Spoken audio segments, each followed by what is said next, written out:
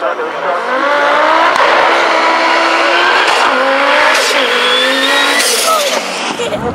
kommt die Vorstand.